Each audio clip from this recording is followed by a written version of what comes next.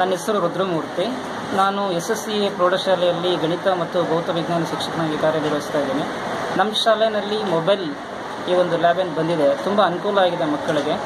ಮತ್ತು ಈ K steps ಅವ್ರು ಏನಿದ್ದಾರೆ ಮನೆಗೌಡ ಸರ್ ಇರ್ಬೋದು ಅಥವಾ ಮಂಜುಳಾ ಮೇಡಮ್ ಇರ್ಬೋದು, ಇವರಿಗೆಲ್ಲ ನಾನು ಮೊದಲು ಧನ್ಯವಾದವನ್ನು ಹೇಳೋದಕ್ಕೆ ಇಷ್ಟಪಡ್ತೇನೆ. ನಮ್ಮ ಮಕ್ಕಳಿಗೆ ನಿಜಕ್ಕೂ ಹೇಳಬೇಕು ಅಂತಂದರೆ, ಹೊರಗಡೆ ಹೋಗಿ ಇದನ್ನು ನೋಡೋದಕ್ಕಾಗೋದಿಲ್ಲ ಅಥವಾ ಬರೀ ಟೆಕ್ಸ್ಟ್ ಬುಕ್ ಓದಿ ಇದನ್ನೆಲ್ಲವನ್ನು ತಿಳ್ಕೊಳೋದು ತುಂಬ ಕಷ್ಟ ಇದೆ. ಅಂಥದ್ರಲ್ಲಿ ಮೊಬೈಲಲ್ಲೇ ಬಂದು, ನಮ್ಮ ಶಾಲೆಯಲ್ಲೇ ಬಂದು ಇದನ್ನೆಲ್ಲ ತೋರಿಸ್ತಾ ಇರೋದು ನಿಜಕ್ಕೂ ನಮಗೆ ಒಂದು ಸಂತೋಷ ತರ್ತಕ್ಕಂಥ ವಿಷಯ ಇದು.